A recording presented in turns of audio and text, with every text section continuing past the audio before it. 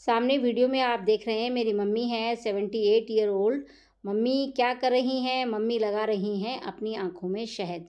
ये शहद वो वाला है, हमारी सोसाइटी में मधुमक्खियों ने छत्ता लगाया था, छत्ता बनाया था। तो जब छत्ता तोड़ने वाले आए थे तो उनसे हमने शहद ले लिया था।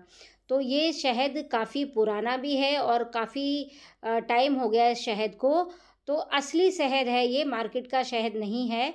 तो यही शहद मम्मी भी लगाती हैं, मैं भी लगाती हूँ और जो मेरी बेटियाँ हैं, वो भी शहद आँखों में लगाती हैं।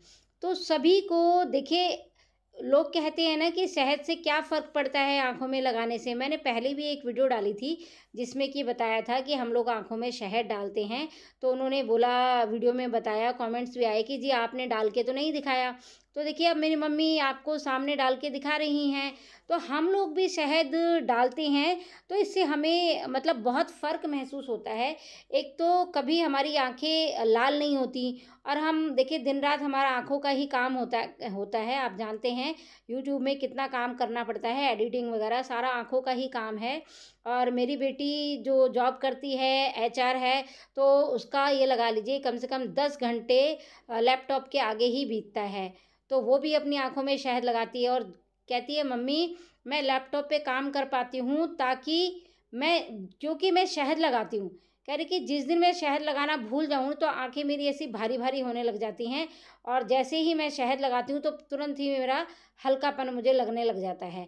जब आप शहद लगाओगे, काजल की तरह आपको लगाना है, जैसे काजल लगाते हैं, आपको अच्छी तरह से हाथ धो लेने हैं और उसके बाद काजल की तरह लगाना है। तो मम्मी ने एक बार लगाया, खूब आँसू निकले। तो जब फ़र्स्ट बार आप लगाओगे तो थोड़ा सा लगेगा, पर डरना मत।